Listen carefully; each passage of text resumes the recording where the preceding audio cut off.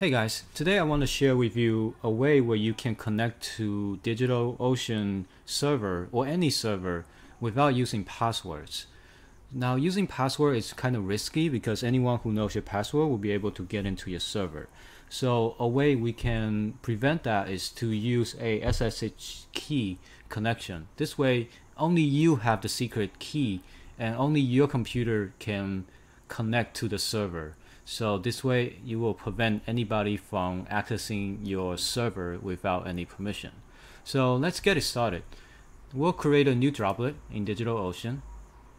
If you don't know what DigitalOcean is, it's a server provider that gives you very cheap servers for with a lot of abilities. I have many videos on DigitalOcean, so if you want to know more about it, you can check it out on my channel.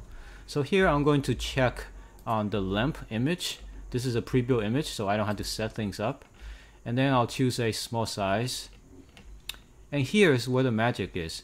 Now, I have a couple of keys here, and I want to connect using a special key that only this computer has. So I want to generate a set of new keys. Now, if you already have SS SSH keys, then you can skip this step. But for those of you who are new to this and want to generate their own new key, here's how you do it. So I have a couple of commands ready. This is the command ssh keygen dash t dash rsa. This will use the RSA algorithm to generate your SSH key. Now in your Ubuntu or Mac computer, you can press enter and it will ask you where do I want to save this file. I'll just save it to the default uh, location and I won't have any password on it.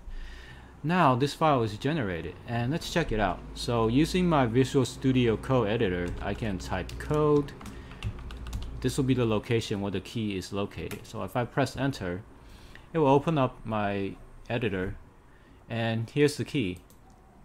Now this idrsa.pub is the public key that you want to give to people. And in the DigitalOcean interface, you click on new SSH key and I'll do Pentaco example here and then paste in the key value and press add SSH key and it's done. So I'm going to rename this droplet called Pentacode SSH example. And then I'll click on the create button. Now when you set up a droplet with a secret key, it won't email you a password to the server. Usually when you don't do that, DigitalOcean will email you with a password to the server. And now it will automatically be pre-configured to accept this key to the server. Now, the, while this is creating, we need to restart our shell here because when you generate a new key, in order for it to take effect, you need to restart the shell. So I'm going to open the shell again. Now it will contain my new key. Okay, so I need to run a couple of things. First, in order to add our droplet, in order to add our key to the droplet, I need to do SSH add. This will add my key to, to, to the identity list. And then the next step I need to do is this command here. So if I do this, this will,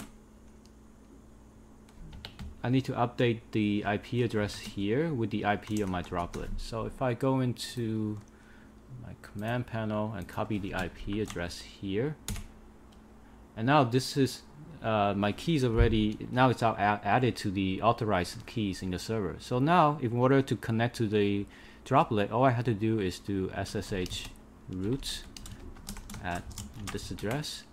And there you go I'm in. So no password nothing. And it will only allow my the computer with this key to connect to this server.